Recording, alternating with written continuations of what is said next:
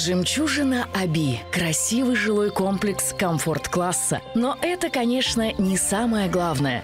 Зима показала, что «Жемчужина Аби» – теплый жилой комплекс, в котором жилищно-коммунальные услуги обходятся жильцам дешевле. А еще здесь есть отличная детская площадка и территория для тренировки домашних животных. «Жемчужина Аби». Кажется, именно здесь ваша новая квартира. Здравствуйте, вы смотрите программу «Новости Сургут-24». В студии для вас работает Юлия Давыдова. В начале выпуска коротко о главных темах. Неужели на иммунитет не рассчитывать? Сургутские врачи рекомендуют пройти вакцинацию, даже если вы переболели ковидом. Почему?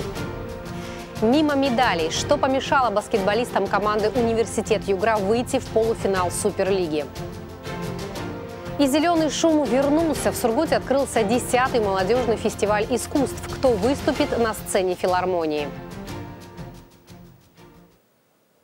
За минувшие сутки в Югре лабораторно подтверждены 64 новых случая коронавируса.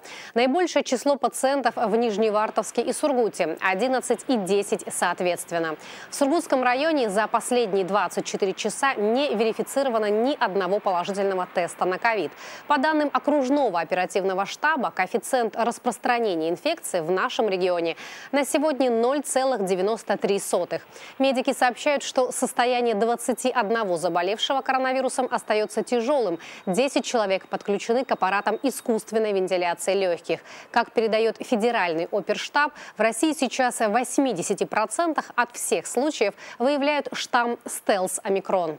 Самым действенным способом предотвратить очередную волну ковида специалисты по-прежнему считают вакцинацию и ревакцинацию штамм э, омикрон э, менее иммуногенный, чем штамм дельта. То есть он э, при штамме дельта, когда пациенты заражались э, коронавирусной инфекцией штаммом дельта, у них титр антител, то есть количество антител было в 10, э, даже практически в 11 раз выше, чем при, э, у пациентов, переболевших омикроном.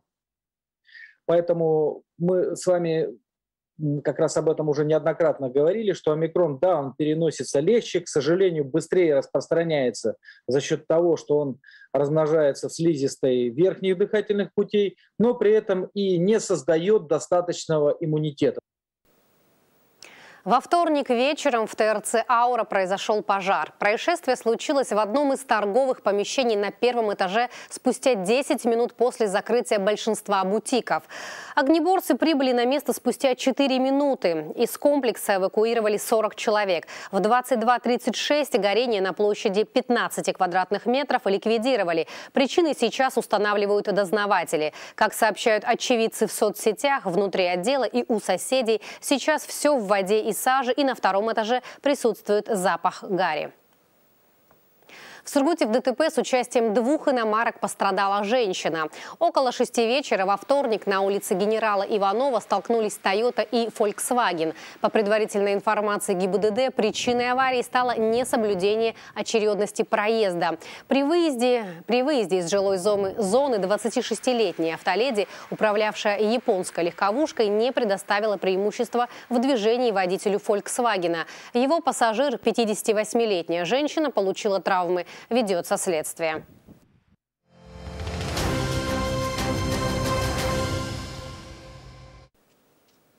В Сургутском районе стартовала 11-я спартакиада муниципальных служащих. В течение двух недель чиновники будут выявлять, кто лучше в бильярде, настольном теннисе, волейболе, прыжках, подтягиваниях и других дисциплинах.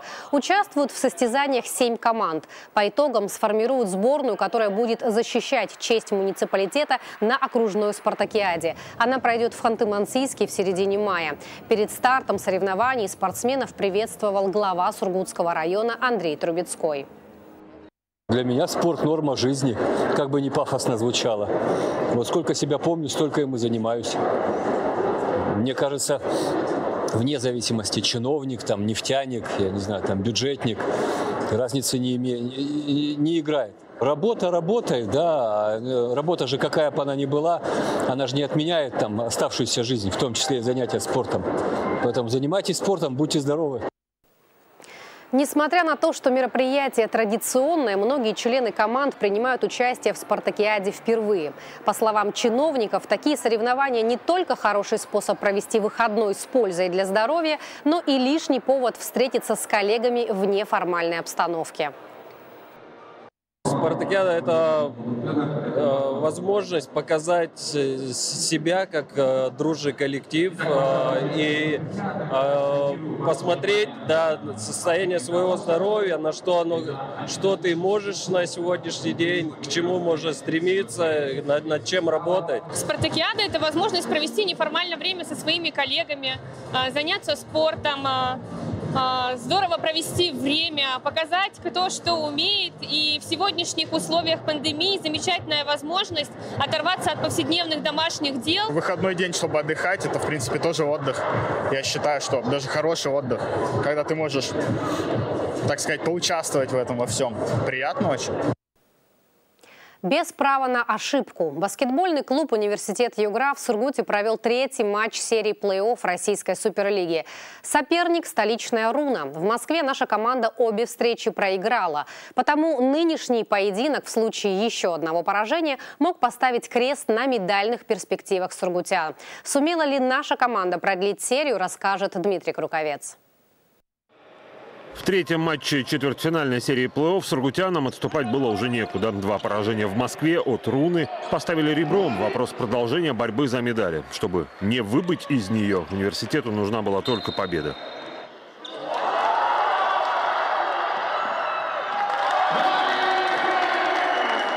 Первую четверть сургутская команда в нападении провела отлично. 11 из 15 бросков достигли цели. Баскетболисты столичной руны забивали чуть реже 29-23. Мы вышли расслабленно, наверное, не знаю, в чем причина была. Это, в общем-то, не первый матч у нас происходит, над этим придется подумать и поработать. Но потом мы собрались, навязали, нам Сургут навязал жесткую игру, мы не поддались и как бы выровняли за счет этого. Игра сравнялась на исходе 13-й минуты встречи. Вторую четверть, как и в стартовом матче серии, москвичи провели исключительно. А университет грешил потерями и неточными атаками. Гости ушли на перерыв лидерами 45-53. С первых секунд дали почувствовать э, игру команде соперника, то есть они забили несколько легких мячей. Вот, и вы видите по счету, что счет такой достаточно крупный. И как показывает практика, в плей-офф э, прежде всего защита. Вот, и именно в защите мы сегодня несколько раз провалились и дали сопернику почувствовать, что они сегодня могут выиграть. В третьей четверти борьба за инициативу закончилась в середине отрезка при счете 52-56. Две потери и два промаха подарили Руне возможность укрепить преимущество, чем опытнейшая команда и воспользовалась 59-70 после получаса игры. Это плей-офф, это игры на выбывание. И естественно, что жестче все, чем в регулярном чемпионате. Поэтому ничего удивительного здесь мы не видим. Мы к этому настраивались, были, готовились. А, обычная, нормальная, хорошая игра. В заключительном игровом отрезке сургутяне попытались включиться в погоню, но москвичей было уже не остановить. Они забивали практически из любых позиций и жестко защищались. Итог встречи 78-94, счет в серии 0-3, Руна в полуфинале Суперлиги. Ребята все опытные, жесткие, играют давно в лиге. Поэтому только можно уважение команде соперников высказать.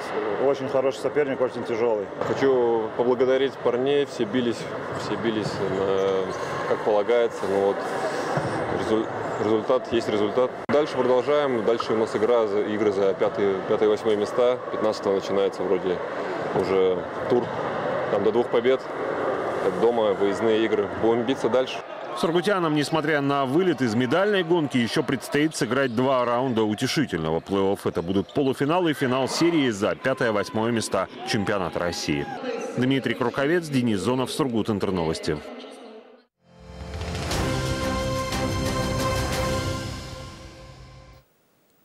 Сургут вернулся зеленый шум. Десятый по счету молодежный фестиваль искусств открылся в нашем городе. Филармонии организаторы события пообщались с журналистами.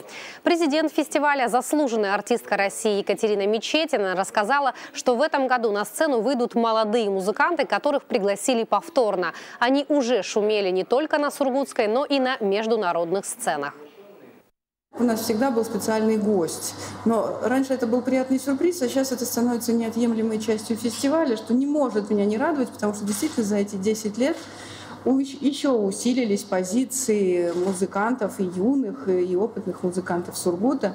И это э, для них, я думаю, радость выступить на нашем фестивале. Но для нас это уже действительно большая честь, что такие ребята участвуют. Радость переполняет, и вдохновение все усиливается. Знаете, за 10 лет не то, что это нам не надоело, вообще даже это слово боюсь произносить. Мы в это все больше влюбляемся. В этом фестивале многое, и великая классика, и, и, и малые формы, если можно так сказать, и оркестровая э, наша, безусловно, представлена, э, сказать, э, сегодняшняя ситуация. И, конечно, и я думаю, что мало говорим, вот сказала об Ольге Егоровой, э, президент, но э, там на самом деле это будет бомба, как и всегда, что все, что связано с Егоровой, это, вероятно, будет даже, мне кажется, связано с роком.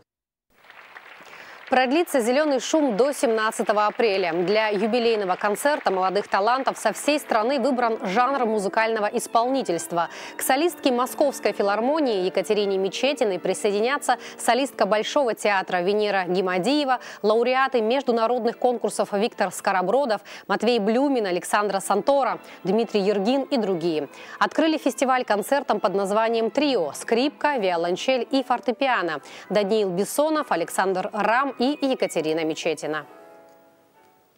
Это все, что мы успели рассказать к этому часу. Корреспонденты телеканала «Сургут-24» продолжают следить за развитием событий. Самая актуальная информация в удобное для вас время доступна в официальных аккаунтах в Телеграм, ВКонтакте и на нашем сайте о.медиа. Впереди еще прогноз погоды после коммерческого блока. Я благодарю вас за внимание. До свидания.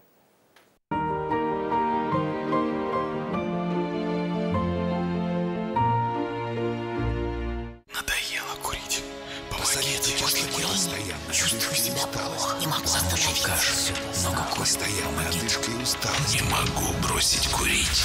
Доктор Гужагин. 89 7 двоек 5 2. Окружной паблик ВКонтакте о медиа Югра. Каждый день новости, которые создаете вы. Реклама в паблике 221 222. О медиа Югра. Россия удивительна и многогранна. Самая большая страна в мире с богатой историей и культурой. Красивейшие города и заповедники. Здесь каждый найдет край себе по душе. Калининград и Камчатка, Алтай и Башкирия, Карелия и Байкал. Время путешествовать. Время покорять Россию. Кстати, действует акция кэшбэк 20% за отдых в России. Студия путешествий «Соловей» 79 99 28. С 1 по 17 апреля последняя распродажа сезона. Шубы Норка Мутон Дубленки. Действует акция «Меняем старую шубу на новую». Сургут, улица Лермонтова, 9А, ТЦ Борисовский.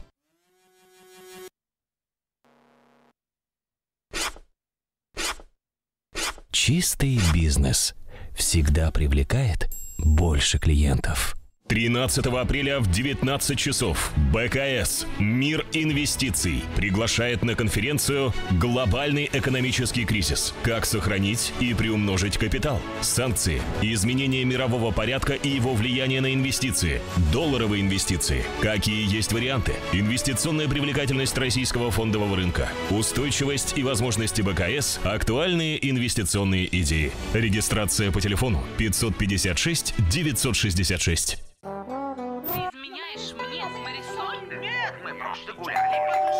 Умные домофоны от Телеплюс принимают звонки из подъезда прямо в телефон. А это кто? Я не знаю. Делают фото посетителей и отправляют их в смартфон даже тогда, когда вас нет дома. Так он и на прошлой неделе заходил. Телеплюс. Все. Управляйте домофоном из любой точки мира. Авторадио. Крупнейшая коммерческая радиостанция и несомненный номер один в автомобилях. Нас слушает множество людей. Ведь Авторадио – самая узнаваемая радиостанция страны. Радио-рекордсмен, которая любят и которая цитируют. На котором любимые программы и проекты. А еще Авторадио – это доказанный рост прибыли рекламодателей до 69%. Радио слушают. Авторадио любят. Лав Радио – один из самых успешных брендов страны. Нас слушают энергичные и целеустремленные люди. Ведь мы берем от жизни все. Эфир Лав Радио – это эксклюзивные музыкальные премьеры и новости музыкального мира, звездные гости и крутые призы. Лав Радио – это утреннее шоу «Красавцы». Музыкальные итоги за неделю, танцевальная музыка, игры в прямом эфире и... Big Love Show. В общем, вы поняли. Слушайте Лав Радио.